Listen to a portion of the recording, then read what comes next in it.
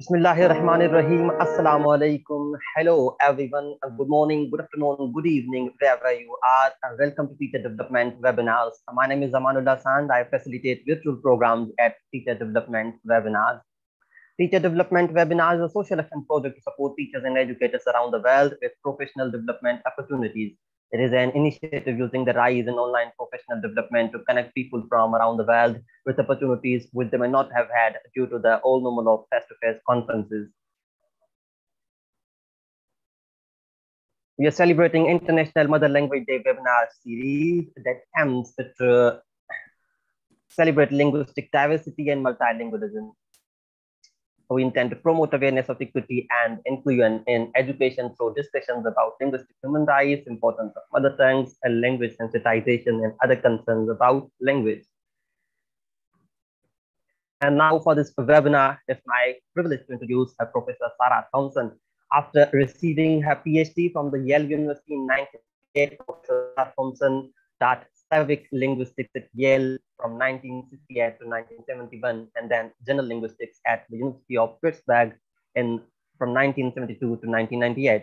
Since 1999, eh, she has been at the University of Michigan, uh, where she is now the uh, Bernard Bloch Distinguished University Professor of Linguistics.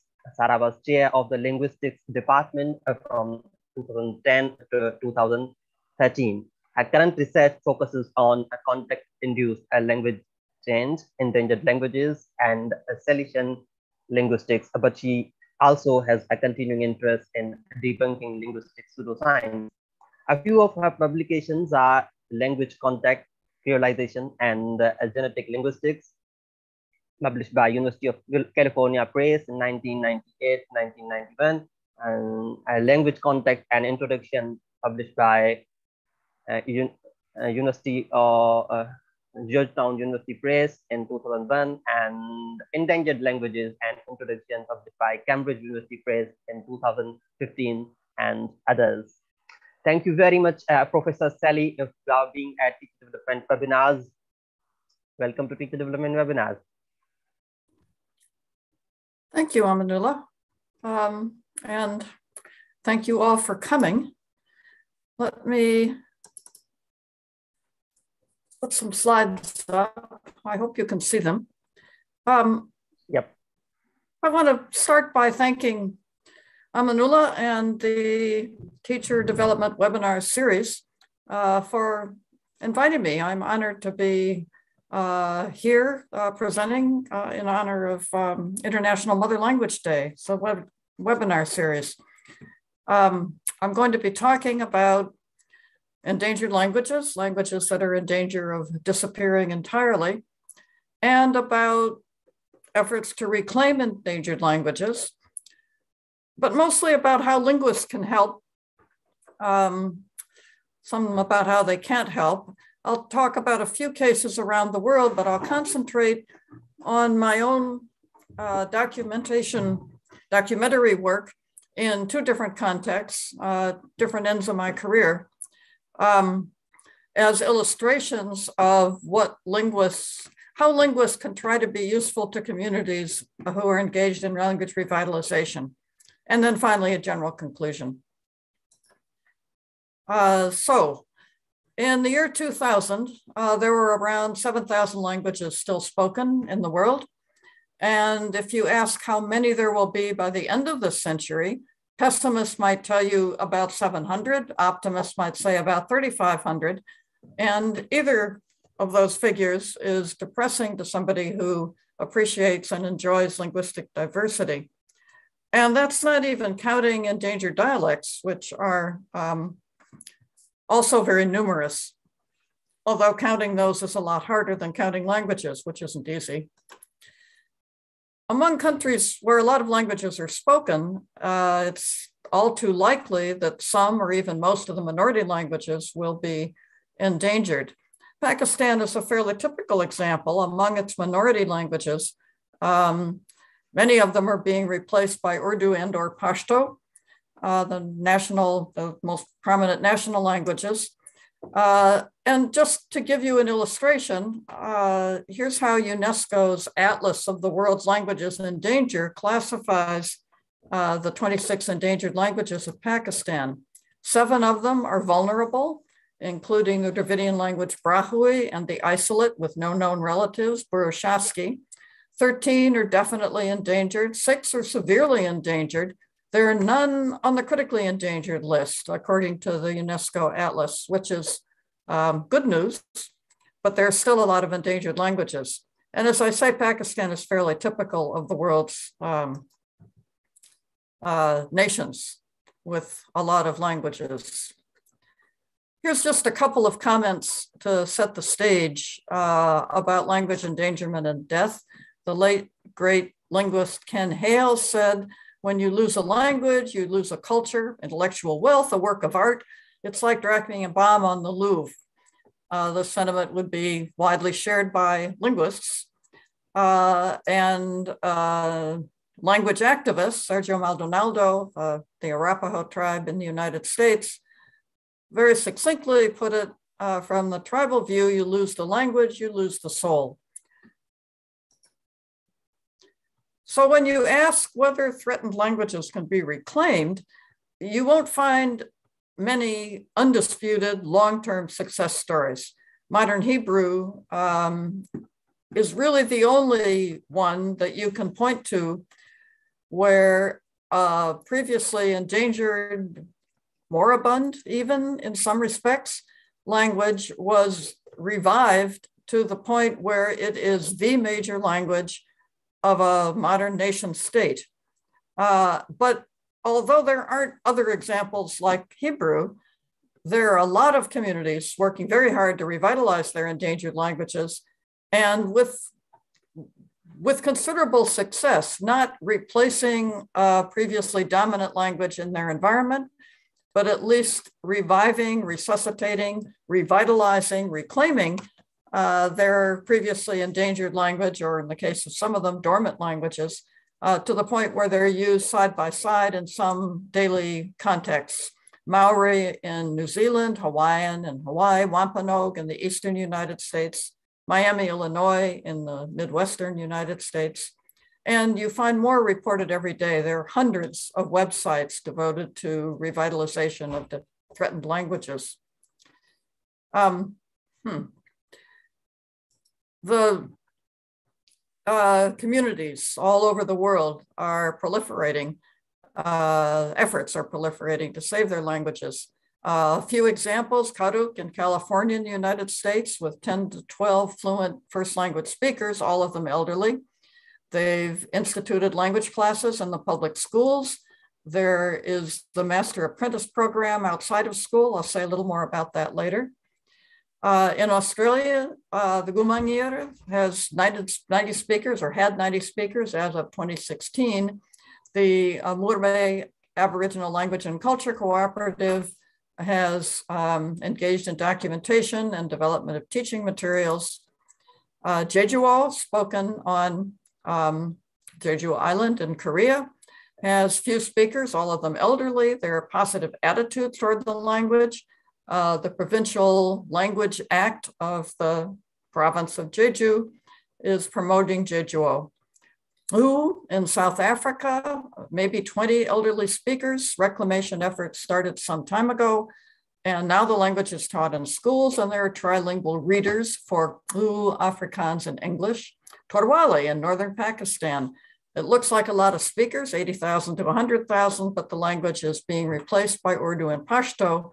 Uh, reclamation efforts are being made by, led by community organizations and a linguist, uh, Zubair Torwali, who by his name, I imagine is probably a member of the community. So how can linguists help? Uh, what linguists cannot do is save endangered languages. Only communities can do that. But linguists can be useful to communities if the communities want their help by documenting the languages while there's still time, while they're still fluent speakers, and by helping to prepare teaching materials a couple of examples. Here's a very early example. I, I should maybe apologize for having so many examples from the United States. Uh, it's not um, it's not because I think that's where all the interesting cases are. It's just that I'm a specialist in Native American languages, and so those are the ones I know. Um, So this early example, the Meskwaki Papapipo. Um, in 1911, the anthropological linguist Truman Michelson visited the Meskwaki settlement in Iowa and discovered that everybody there was literate in their own writing system, Papapipo. It doesn't look anything like the English alphabet or like any other alphabet or syllabary. And in fact, basically it is a syllabary, not an alphabet. Um, and they all knew it. It's very easy to learn, apparently. He paid them pennies per page. He paid speakers in the settlement pennies per page to write whatever they wanted to write. And they did. They wrote hunting stories, war stories, winter stories, autobiographies, and all sorts of other things, literature. They wrote a total of 26,000 pages. This is an unparalleled corpus of Native American writing written by Native speakers who at the time were not fluent in English. This was before they were probably multilingual in other Native American languages, uh, other Algonquian languages or Siouan languages. Um, but this was before the people were acculturated to Anglo society. And it's now a major resource for reclamation of the Meskwaki language, which on the UNESCO scale is critically endangered. A somewhat more recent example uh, from late in the 20th century, um, there are comments by a couple of Kaw speakers in an obituary in the Wichita Eagle newspaper uh, for the uh, linguist Robert Rankin. One of them said, if it wasn't for his work, we wouldn't have our language. He single-handed preserved our language. You can't put a price on something like that. And the other one, uh, this is Johnny McCauley, um, who was one of the last speakers of Kaw. He said, I just want to hear it again. There's been no one else to talk it with. Um, Rankin made CDs of the language uh, that he recorded um, with McCauley's aunt, late aunt. And Macaulay died in his home a few months after receiving the CDs. And when he was found in his home, the CD recordings of his late aunt speaking the family's native Kaw Indian language were still playing, according to that obituary. Uh, that quote is so I say from the obituary, uh, Rankin had recorded the stories on reel to reel tapes, ancient technology in the 1970s. He digitized and converted the tapes to CDs in 1996 and presented the Kaw community with a set of the CDs that same year. Let me say a little more about the Master Apprentice Language Learning Program, which I mentioned earlier. This one is especially widespread and successful. It was devised by the University of California at Berkeley linguist Leanne Hinton. Um, the basic principle is one learner is paired with one fluent elder. Uh, they work together, the members of the same Native American tribe or wherever. This, this uh, program has been imported to various countries in the world. They uh, they they're trained to in the work, so they know what they're you know how to how to do it. Um, they don't have to just figure it all out for themselves. And they work together to help the learner learn the language. This is especially useful as a means of reclamation in a community where there's only a handful of remaining fluent speakers left and, um, and there are young tribal members eager to learn the language. In many communities, linguists do help with the development of teaching materials for language classes, but there's a problem. Uh, in the United States, at least, I honestly don't know whether this is true in the rest of the world as well. But in the United States, linguists are rarely trained in applied linguistics. Uh, we don't usually have the skills that are needed to develop effective, um, effective teaching materials.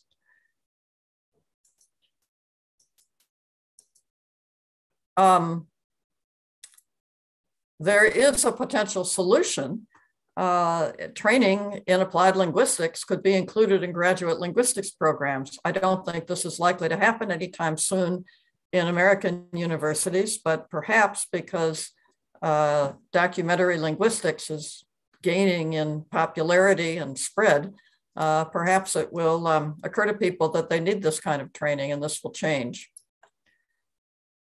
not all linguists lack the necessary background in language teaching. Uh, there's a linguist in the United States named Ari Sherris who has uh, extensive training in both applied and, and non-applied linguistics. Uh, and he's done a lot of work, um, pedagogically oriented work. Here are two books that he co-edited uh, in 2019 one rejecting marginalized status of minority languages, educational projects and curricula pushing back against language endangerment, and the other one teaching writing to children in indigenous languages, instructional practices from global contexts. So there are linguists who do have the right training and who are able to help. So you've got both um, language teaching orientation and documentation. My own experience has been almost entirely combined, confined to documentation because I am not one of those linguists who have language teaching skills. Um, but my career has been bracketed by documentation on work on endangered languages. Um, I started out when I was a beginner working on a set of endangered dialects. And for the past 40 summers, I've worked with elders in the Flathead Reservation in Montana, United States, on the Salish Kitli language. I began in the former Yugoslavia when it was a big country uh, with a year of dissertation research and fieldwork on endangered dialects of the language, which at the time was known as Serbo-Croatian. Now there is no such language as Serbo-Croatian. There are four separate languages, Serbian, Croatian, Bosnian, and Montenegrin. But there was only one language then with mutually intelligible dialects. The dialects I studied are almost certainly gone by now. Uh, the villages I visited um, had young people who spoke standard Serbo-Croatian, but the speakers I worked with were in their 60s or older and had never been to school. In those days, this was in the mid 1960s, um, there were a lot of people of that age group and older who had not been to school which meant that they were unable to switch to the standard dialect. When I was talking to them, I was speaking the standard dialect because that was the only one I knew, um, but they were not.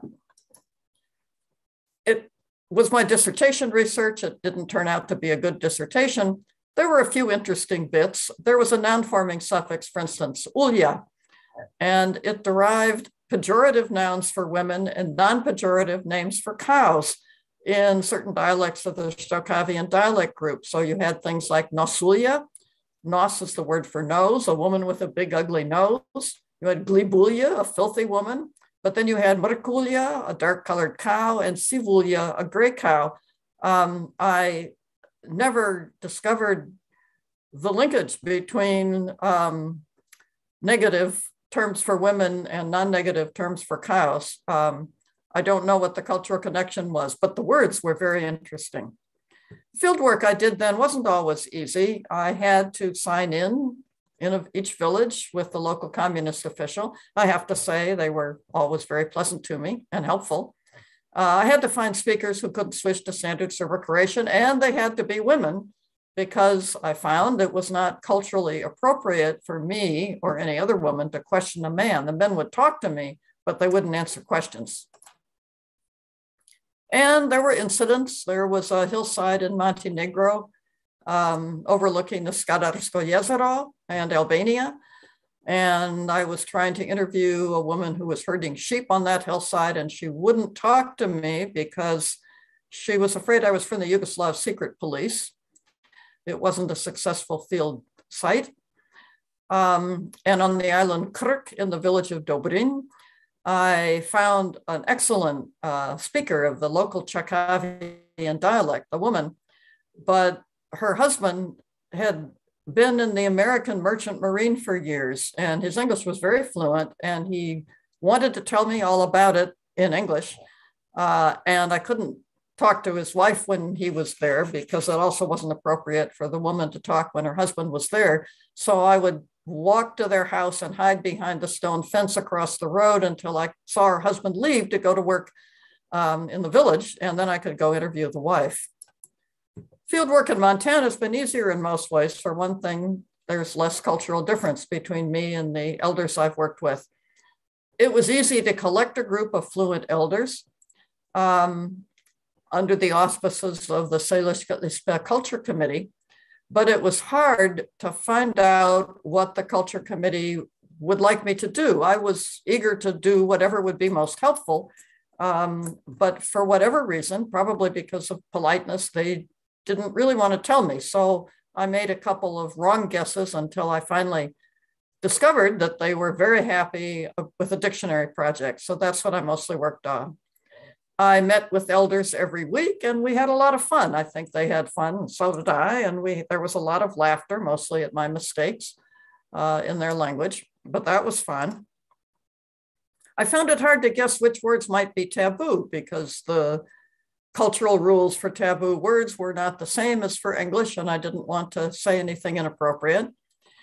And I found that getting information about medicinal plants was difficult because I was told the medicines wouldn't work if outsiders got access to the information.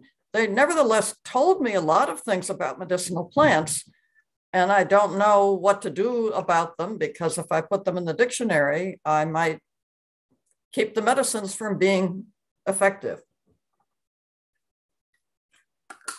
So there were issues. There are always issues in field work. Um, it's well worth it, but there are always issues. Every summer since 1981, I've worked with the elders on the Flathead Reservation. As I say, mostly compiling a dictionary, but also a set of texts for their language program. Um, all the elders I've worked with for so many years have died mostly in the past six years. And that's why when I'm talking about my field work, a lot of it is in the past tense. And it is tragic for the community to lose these wonderful people and tragic for me because I, I grew to love them. Let me introduce, I want to tell you more about my documentary work in Montana. But let me tell you a little more about the tribes and their language. Um, Salish Kutli is the names, the self names of the two tribes, Salish and the Kutli uh, uh, in the past, they've been called Montana Salish or Salish Oreille or Flathead. Flathead is the name first appears in the literature uh, designating these people, and actually only the Salish, not the Kutli it's a gravely endangered language, only a handful of fluent speakers left, very, very few now, all of them quite elderly. All of these elders are survivors of school systems, mostly Catholic boarding schools, but also public schools, in which they were beaten for speaking their language. And as a result, their own children did not learn the language because they didn't want their children to go through what they'd gone through. The Salish and Kutli Spe are two different tribes. They share a reservation. There may, in the past, have been systematic dialect differences, but I have not been able to find any. I think their dialects are no longer differentiated. There are other two other tribes, the Spokanes and the Kalispels, who speak dialects of the same language, but there's no name for the whole language. Four tribes, three reservations, one language. And all four tribes are longtime allies in um, uh, resisting encroachment by uh, hostile tribes, mainly the Blackfeet. Uh, Salish Kutlispe is a member of the Southern Interior branch of the Salishan language family. It's the easternmost of the 23 languages of the family. Most of them are spoken on or near the Pacific coast, or they were. Uh, some of them are already gone.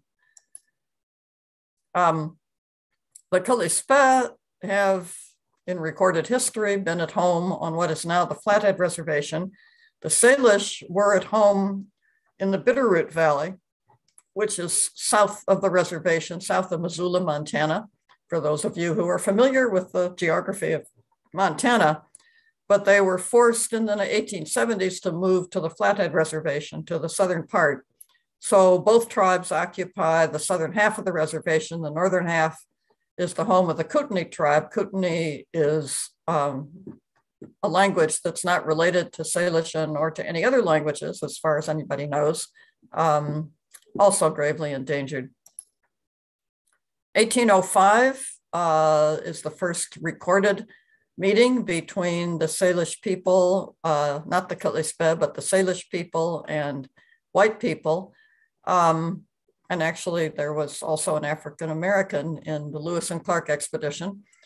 Um, there were certainly white people there, Europeans there um, before that, uh, fur traders, for fur hunters um, from Quebec mainly. 1841 was the founding of the first mission in Salish territory. Uh, 1845, the mission moved to Eastern Washington state. Wasn't a state then.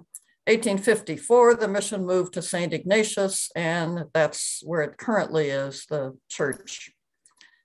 1855, the reservation was established by the Hellgate Treaty. The last chief recognized by the US government was Charlot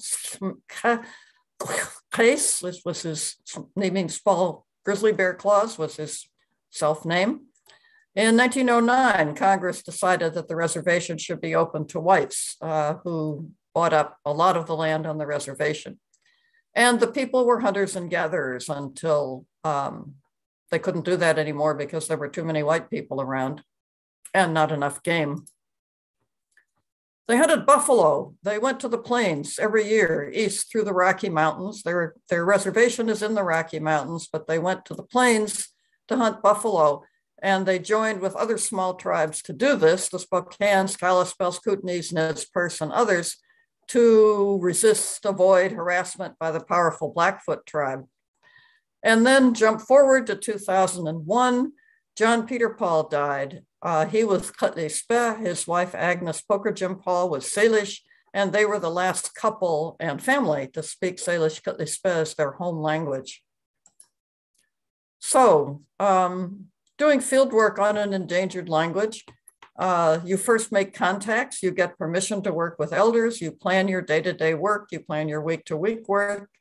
I've always found it very useful to work with a group of elders. For one thing, you get to hear them speak the language to each other. They jog each other's memory. One person can't remember a word, but the other person might. Uh, you get both men's perspectives and women's perspectives. And I discovered several years ago, they told me it was these meetings with me during the summer were their only chance to speak their language now. Um, and there were some elders meetings at the culture center during uh, during the rest of the year. Uh, but they all lived in, most of them lived in multi generational families, but they were the only ones in the family to speak the language. So they didn't speak it at home.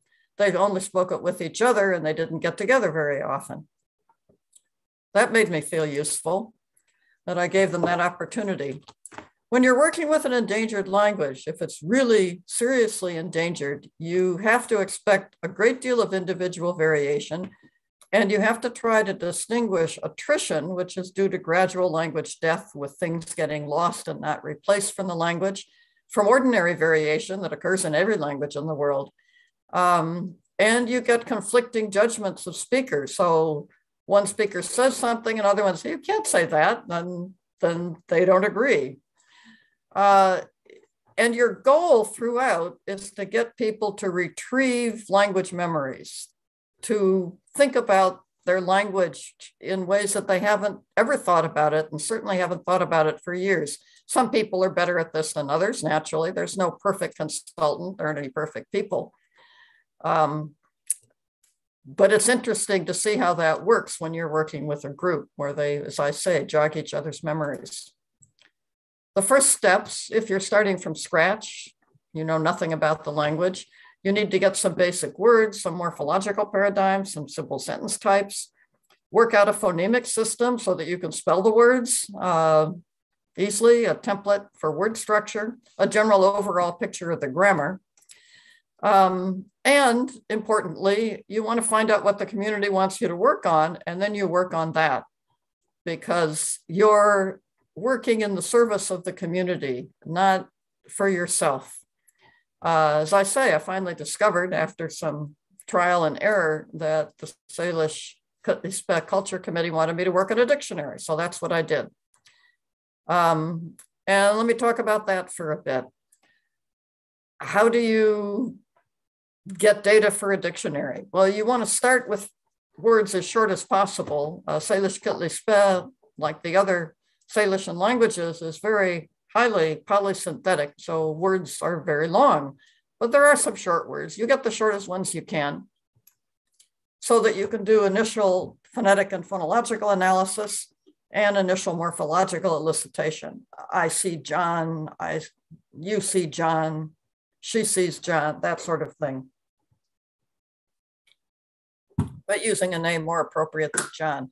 Later on, uh, you want to get lots and lots of words for compiling a dictionary, and you want to document culturally relevant terms and concepts. So if you're making a dictionary, how many words are enough? Michael Krauss, a linguist who's, who worked um, for many years on Athabascan languages uh, and some related languages, uh, thought that 6,000 words was enough for a moribund language, that is a language that's no longer being learned by children as a first language, and 14,000 for a non-moribund language. Terry Kaufman, who worked for many decades on languages of uh, indigenous languages of Mesoamerica, thought 400 to 6,000, 4,000 to 6,000 words would be a good minimum. 10,000 would be a maximum. I have maximum in quotation marks because you can never have too many words. But if you want to move from one language to another, you could stop at 10,000. So obviously these figures are arbitrary, but it gives you some idea of the scope if you want to do serious documentation. Uh, my problem has always been that I can't force myself to stop collecting new words so that my dictionary files are full of 40 years of inconsistencies because I have learned a lot more about the language as time has gone on. And instead of repairing the dictionary files, I've gotten new words. I can't do that anymore, though. Uh, completeness is never a realistic goal. Every human language, natural human language, has um, tens of thousands of words. Uh, so, you know, 10,000 even is still a drop in the bucket. How do you think of words to ask for? Well, what you don't do is go to meet with a group of elders and sit there and try to think of words to ask for. You prepare for every meeting with the elders. You make sure you have enough material for more than the time you'll have. And you also don't take a monolingual dictionary of your own language, for instance, English, uh, and start working through that, beginning with the first letter. If you did that in English, you'd get words like a, aardvark, and aardwolf, and this would really not help you document any indigenous language um, anywhere except possibly uh, certain languages of South Africa. But even then, the a at the very beginning would be a bad idea. So you want to start with some basic vocabulary and the 200 word list devised by Morris Swadesh for a somewhat different purpose uh, vocabulary items that are supposed to occur in every language in, a world, in the world is a good place to start. Gives you a sizable stock of words as short as possible. Um, and as I say, you can use those to start working on figuring out the language's structure. You accept all the words the speakers give you. The Swadesh list is supposed to be universal, but of course it's not because languages differ from each other. Um, and a lot of languages, one of the words on that list is brother. English has one word for brother, uh, but a lot of languages don't have a single word meaning any kind of brother. Uh, and Salish Kitlispe is one of those languages. So you get younger brothers, and older brother, Keos. And um, you they might have a lot of different words for horse. And they say, well, which one do you want? You say all of them. And so you get some um, meaning roughly uh, a domestic elk, or thin, meaning uh, something that bites for biting grass. But there are other words on that list that they don't have a word for, and you there's nothing sacred about the list. You just move on to the next word. You also make use of any available sources and techniques uh, you can. Um, one technique that's been used uh, with great success by uh, SIL international uh, field workers uh, is to have sheets of paper with different semantic domains on them body parts, kin terms, animal names. And give them to groups of, you know, have a group of people, maybe two or three people in a group, and give them a domain and have them think of all the words they can in that domain. Uh, and then when they finish that, you give that one to another group and you to start all to start, and then you give this first group a different domain. This works quite well. I've actually tried it in uh, undergraduate field methods class where I told them to, you know, I put them in groups and I said, think of a semantic domain and then think of all the words you can. It worked very well. Uh, the problem, if you're doing this with an endangered language, is that some domains, some semantic domains are already partly lost because people don't talk about that anymore. Um, direct elicitation can also get you to culturally and linguistically interesting things like sound symbolism, a domain. Uh, in Salish Kitli I have words like the sound of cow poop plopping, the creaking sound a tree makes when it's starting to fall, little shiny things sparkling like stars winking or sequins on a jingle dress. You can get some cultural items. So you get uh, sound and sight imitation. That's a particular formation that I that I like a lot. Um, and you can get dozens of them. Uh, you can use open-ended follow-up questions. So like, are there any other words for sounds or sights that I haven't asked for yet? And they'll say, well, yeah, there's a but a little, little, little, which is a bunch of things going in and out of vision, like when you see running horses through a picket fence. You want to get naturally occurring data as well uh, from recorded storytelling, reminiscences of old active, traditional activities, whatever. Um, these are vital because there will be many, many words that you will not get from elicitation. You won't think to ask for them, and your consultants won't happen to think of them out of context. Um, what this means is that you can't compile an adequate dictionary by focusing only on collecting words. You also have to collect texts of as many kinds as possible. You can use constructed texts also um, either elicited sentence by sentence translation or elicited by what happens next uh, questions. I've used both of these, uh, the sentence by sentence translations, mostly to get examples of rarely occurring grammatical features like second person plural agent acting on first person plural patient or vice versa. And the latter with what happens next prompts to get descriptions of traditional activities like processing deer hides and baking camas, which is a staple root crop. You can look in published sources on the same language or on related languages or on nearby unrelated languages to get more ideas about words to ask for uh, for my work, important sources have been dictionaries of Spokane, which, as I say, is a dialect of the same language as Salish Kutlispe, uh, and of Colville Okanagan, which is close geographically and closely related to Salish Kutlispe. But my most useful source by far has been a 19th century, late 19th century dictionary compiled by Jesuit missionaries. Uh, a huge dictionary, two volumes, a thousand pages, Kalispel English and English Kalispel. They say Kalispel, but it's actually Salish Kalispel. The um, dictionary includes an appendix with some grammatical information. Um, the authorship is not entirely clear. The name on the dictionary is the Reverend J. Giorda but it's pretty clear that Father Gregory Mengarini uh, began compiling this dictionary when he was at the mission at St. Mary's in the Bitterroot Valley among the Salish people, uh, about 20 years, 25 years before the dictionary was published. In any case, there are more than 700 main entries in the Salish English volume, many with dozens of sub-entries. It's a very, very rich source of material, lexical material. It's also hard to use.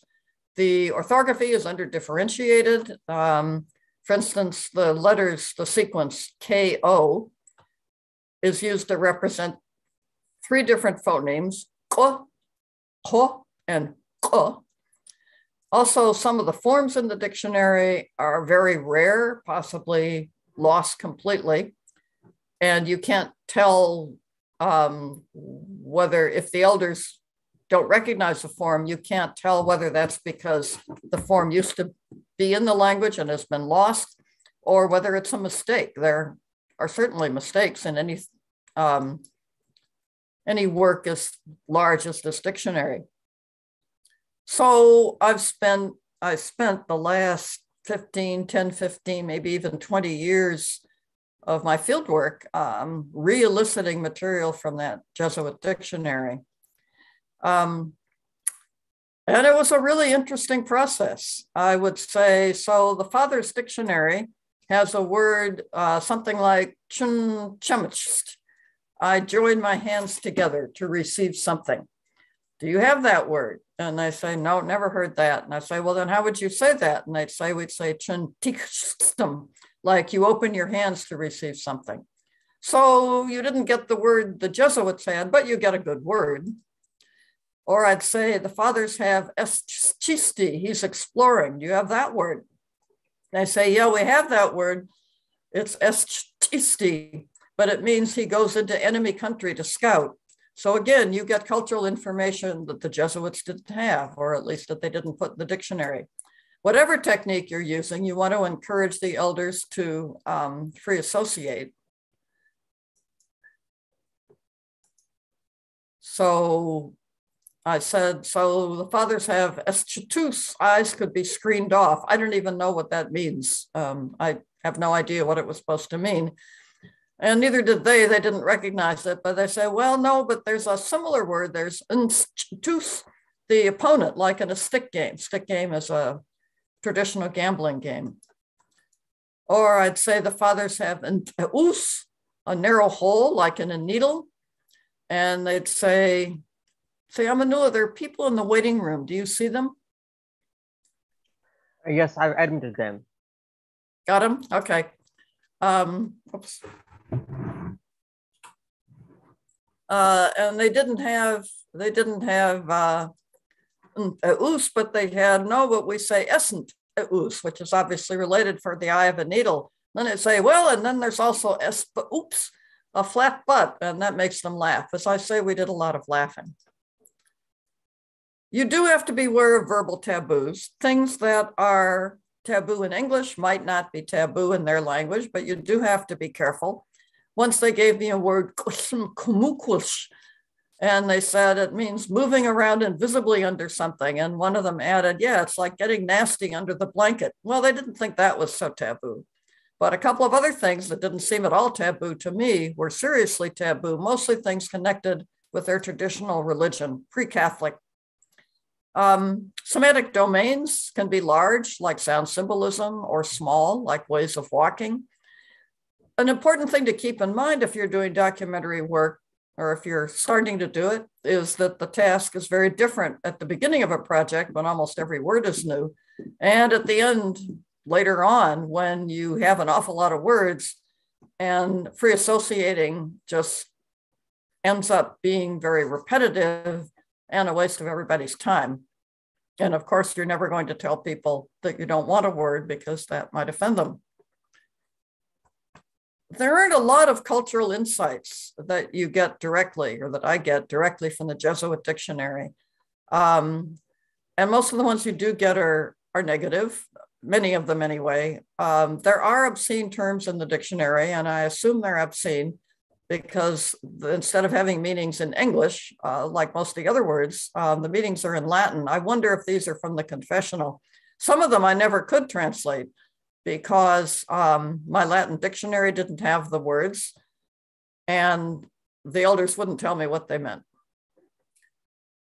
But not always. As I say, taboo is not is not predictable from language to language. So um, there's a word that I found in the Jesuit dictionary, and the elders had it. They said oopsen, and they laughed and wouldn't tell me what it meant. I believe, judging by the pieces, that it means I have sex with her, but um, I can't prove that because they wouldn't tell me.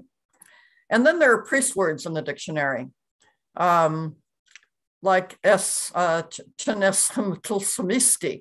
uh, and the priests, the Jesuit dictionary says it means I think myself heavy, and the elders say it's like lifting a spiritual burden, kind of a priest word. They were kind of dismissive about the priest words. Uh, the idea, I assume, was that they were made up by the priests, and um, um, the community members never found them particularly appealing as words in their language. Um, very often, uh, the dictionary would trigger memories of very old words, words that the elders had heard from their grandparents, uh, like uh, Nyopioten. And the Jesuits said that that was your hope, your help that someone gave you and you relied on. And an elder said, well, one elder said a priest would say that. So you'd rely on him for support. And another elder said, well, they said it before the priest too, like in winter.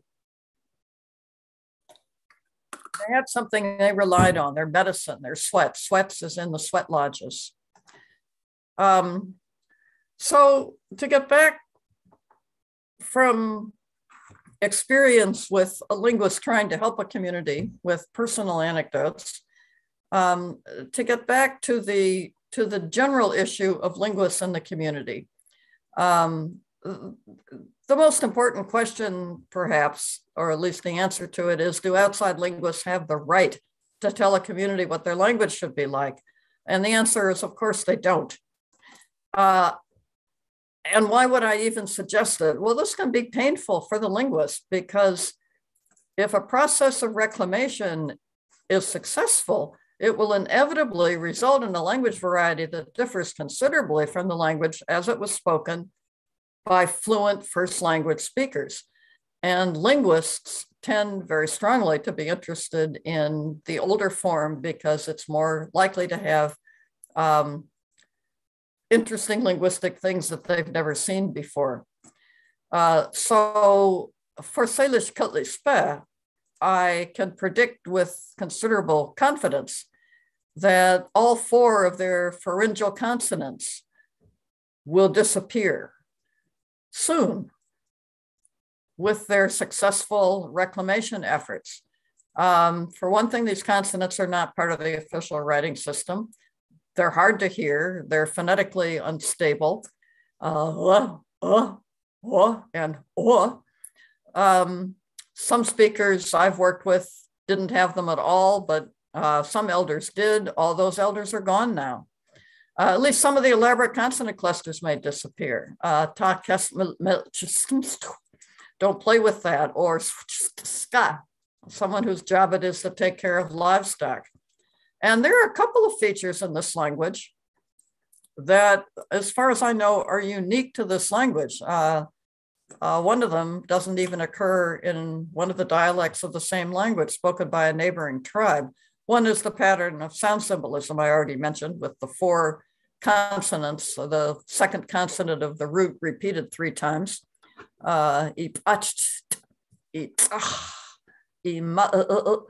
and the other one is a truncation rule. It goes like this uh, delete everything after the accented vowel if you want to, but you won't want to if there are crucial suffixes after that vowel. So, for instance, sene is a word for a cow elk. It's shortened from senet. And the only reason I know that is that one of the other dialects of this nameless language has the full form, but not the short form. And one of the words for horse I mentioned before, uh, is shortened from skache. Outside linguists, people who are not members of the community, like me when I'm working with Salish Kutli Spe elders, have to be extremely careful to ensure that we're showing proper respect in working with the elders in the community. And as I say, you ask permission before you try to work with fluent speakers you never suggest to a speaker or a member of the community that they know less about their language than you do. And you don't publish anything about the language without first getting permission from the community. Um, but most of those difficulties will go away if the linguist doing the documentation work and the and developing teaching materials is a member of the community rather than the outsider. this is a very powerful argument in favor of providing training in linguistics for interested community members. Um, but it's not done enough. um, one hopes that it will grow uh, in frequency. This is especially important in a community that has good reason to be suspicious of outsiders, particularly including outside linguists. Uh, and that means all Native American communities in the United States who have been uh, mistreated so severely by Anglo culture that uh, they really would often rather not see linguists or anthropologists or any other scholars come into their communities. And a lot of communities elsewhere in the world as well. Americans are unpopular in a lot of places, but it's not just Americans. Um, this will happen with uh, people from universities in a lot of countries. Um, in any case, the most important for lesson for a linguist to learn, especially an outside linguist, is humility. Of course, you hope your efforts are going to be useful to the community, um, but the documentation you do, although it's important, is a tool for revitalization. It may not be a valid goal in itself at all from the community's perspective.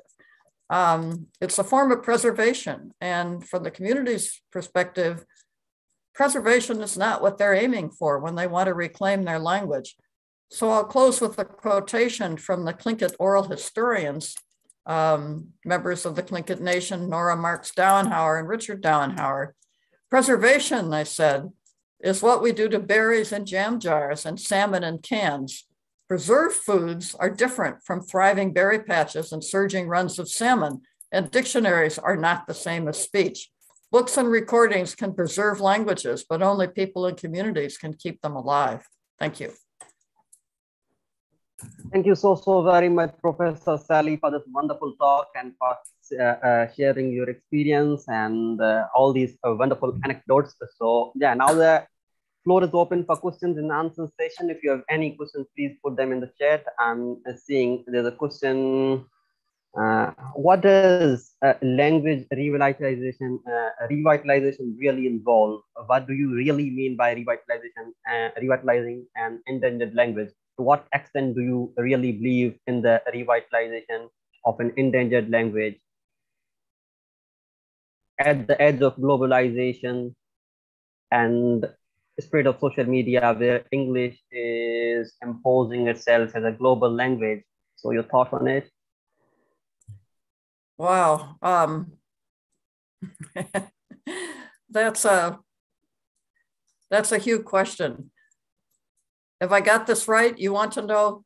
At, at this point, you have to speak very slowly and loudly because I, I'm it's it's midnight here and I'm no longer fully awake. Um, but you're interested in what I think an endangered language is? Yeah. Actually, this question has political overtones, and I'm not good at politics. Uh, I find the I find the ah the answer to that question that just appeared on the screen is yes. That's interesting. Um, I find the UNESCO scale usable. Uh, with vulnerable, definitely endangered, severely endangered, critically endangered. Uh, obviously, there's going to be there are going to be um, fuzzy boundaries between those categories. I mean, what counts as severely endangered or critically endangered? You can say it has 20 native speakers as opposed to two native speakers. I mean, wherever you place the boundary, it's going to be debatable but at least at least it gives you a very rough notion of where you are. And I didn't mention that the UNESCO scale also has a category extinct. Um, and a question that just appeared on the screen was, what do you do if the language, you know, can you revive a language that has no speakers left? Um, and the answer is yes. There are various programs out there for communities trying to revive languages that are no longer spoken. You can't do it unless you have some kind of documentation from when it was spoken. The, most discussed example um, is the Wampanoag uh, case that I know of, is the Wampanoag case in, in, um, on the east coast of the United States. It's an Algonquian language and its last speakers, last native speakers died about 100 years ago. Uh, but um, but there is a vigorous program to bring the language back because there was a lot of documentation. Some people might say Hebrew is such a case. Hebrew never disappeared entirely. It was always used for religious purposes. And in the 2000 years of, of, of not being spoken as a day to day community language, and it was also used to discuss high scholarly topics um, by people whose native language was not Hebrew but it was not a language of everyday life, and it was revived.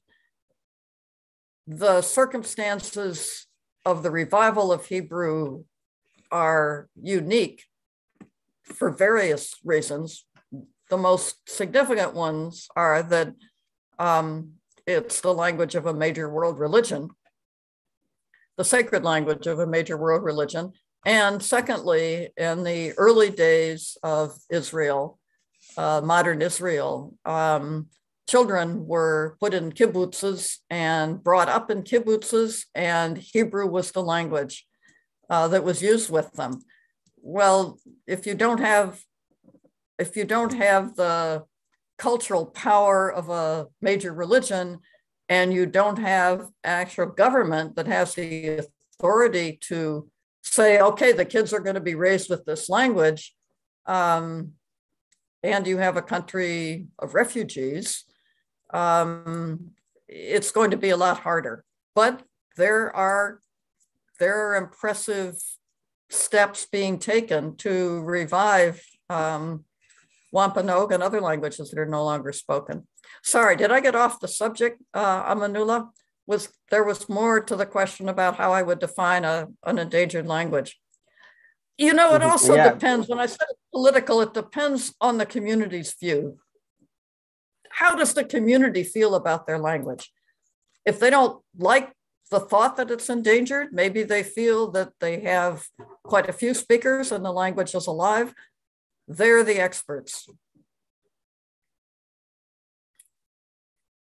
Yeah, so that leads me to my next question, which is from uh, Muhammad Hussain from the University of Loralai, Balochistan. And he asks how we would come to know that a language is endangered. What is the minimum number of speakers, you say? Uh, the number of speakers is relevant, but what's more relevant is um, who's learning it if children are not learning it as a first language, the language is in trouble, no matter how many speakers there are. I mean, Navajo, um, a few gen- very few generations ago, had 150,000 speakers, and for a Native American language of the United States, that's a huge number. And then that number just plummeted over the course of two generations um, because kids went to school outside the reservation I mean, there were various factors. Uh, English is English is so powerful in the United States um, that it's hard to avoid it. Uh, so even ha- I mean, 100,000 speakers, that's a lot of speakers. Um, but if the kids aren't learning it as a first language, then your chances of keeping it going are relatively slim, which is why um, so much effort is, is devoted in, in language revitalization programs to getting the language into the schools so the kids can get exposed to it early. Earlier is better. There's the Language Nest program that was developed in New Zealand for Maori and then exported to Hawaii for Hawaiian, where you get preschool kids in groups where the you know in, in a preschool where the only language that's spoken to them is the one you're trying to revitalize hmm, great so this is the question from Manzoor Hussain uh, from Skardu. He says, I'm working on Balti language and its script. And he asks, what is the proper way to save and promote endangered languages? Ah, you know, that is a political question too. And I, I, think the chances of um, getting a situation anything like modern Hebrew are slim to none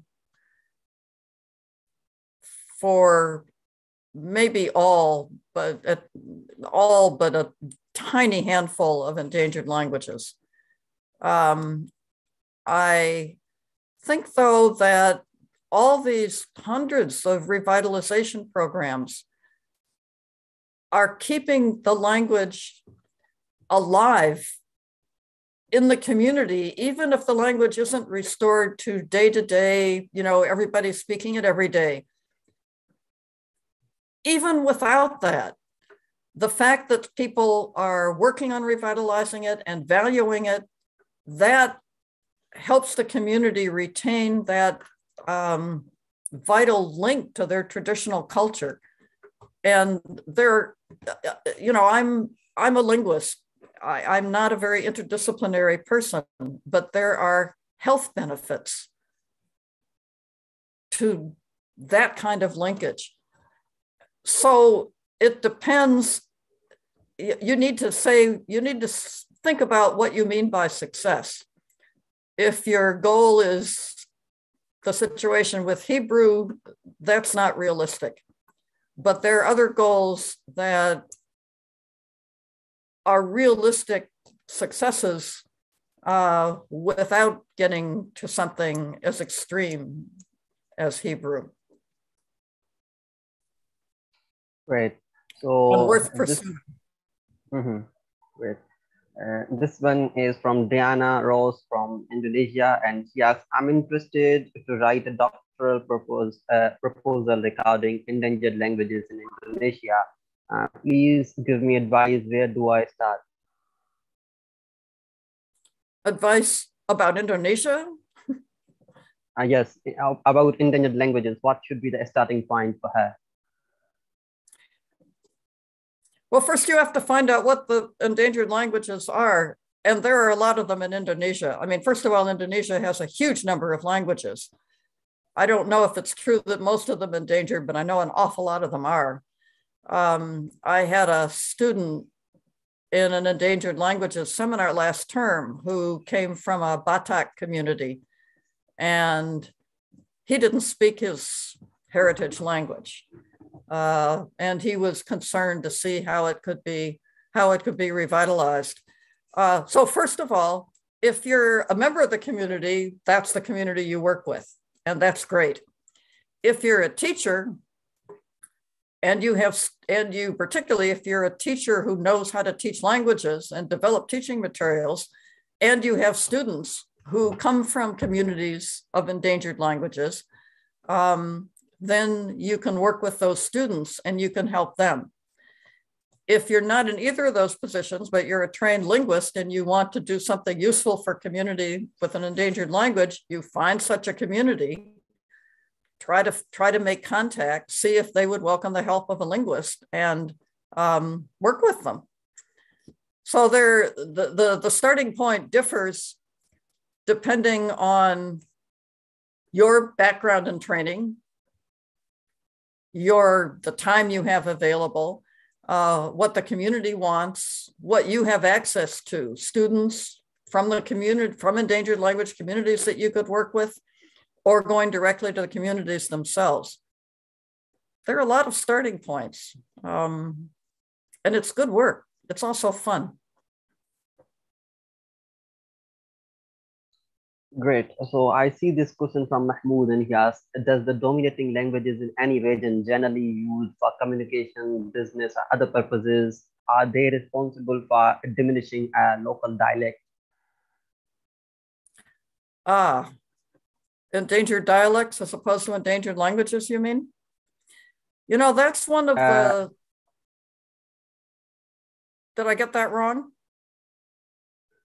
Well, he says the dominating languages in any region are they responsible for diminishing the marginalized one, a marginalized, you know, diminishing local dialects? Yeah, this is.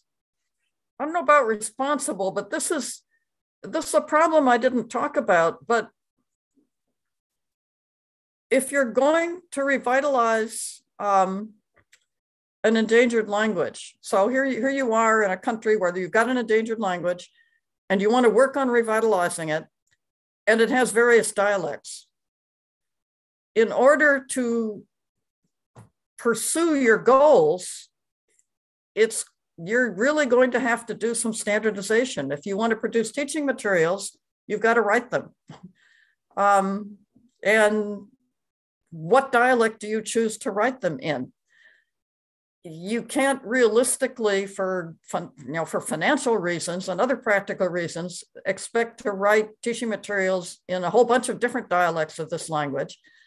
And whatever dialect you pick, the other dialects will suffer potentially anyway. Um, I, I was corresponding for some time with a, a young woman who was working in, I can't remember, it was somewhere in Southeast Asia, Laos or Vietnam, I can't remember which country. And she was she was actually trying to compile a dictionary that included dialect information. So try to do revitalization without raising one dialect and submerging others. But it's difficult because, particularly when you think of the educational system, because you have to choose particular things to teach. And you can't teach a whole bunch of different dialects without confusing students, I don't think. But of course, I'm not a language teacher, so there are, I hope, people cleverer than I am who have dealt with this. In any case, there are a lot of case studies. Um, Scots Gaelic, Breton in France, uh, those are Celtic languages, but there are others too where one dialect is chosen and then people don't feel connected to it if they speak another dialect. And dialects often come with cultural baggage too. So if I have a dialect and it's part of my culture, and you're telling me I should learn your dialect instead, I'm not going to be very happy. And there are cases where people in Scotland where people said, yeah, I'd rather just go to English because they're all bilingual anyway. And if they don't like the dialect chosen for Gaelic, then they might as well just speak English. This is very unfortunate. I don't know if there's a solution. I don't want to be pessimistic.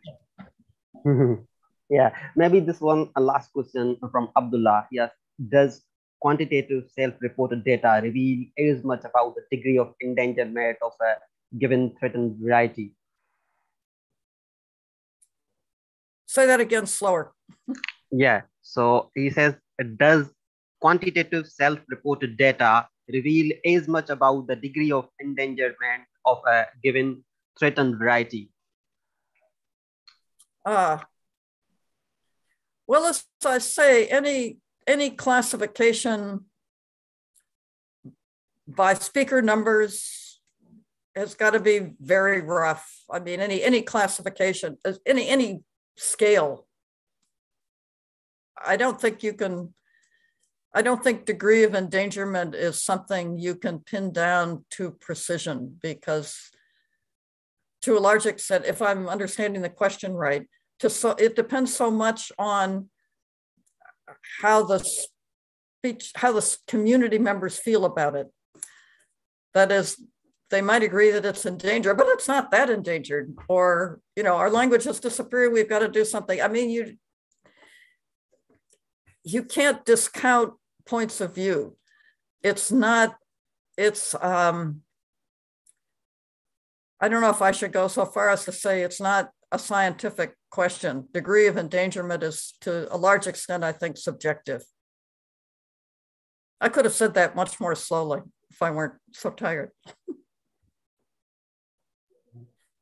yeah, thanks much very more. much, uh, Professor Sally. And any final message on the eve of International Mother Language Day webinar series to our audience?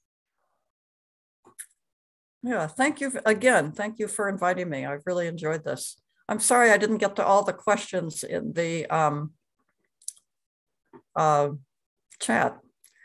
and the last comment was that UNESCO has developed criteria for degree of endangerment. I believe it. I think it's fine to develop criteria. All I'm saying is it's still going to be subjective to a considerable extent. Thanks very much, Professor Sally. I really appreciate it. I know it's too late for you at Michigan, but yeah, uh, you know, the work, your dedication and passion really there's a lot about your work. So yeah, really appreciate your presence here at my webinar. Thank you very much, uh, everyone, for your presence here. And uh, if you're interested to share this recording, it will be placed on Teacher Development Webinars YouTube channel. So you can share with your colleagues who are interested. For future webinars, uh, you can follow our uh, website www.tdwebinars.org and all of our social media channels are available on, on Twitter, LinkedIn, Instagram, and Facebook. So if you want a certificate for this particular session, you can contact at info.tdwebinars at the rate of gmail.com. Thank you very much, Professor Sarah Thomason, once again. We really appreciate your presence here.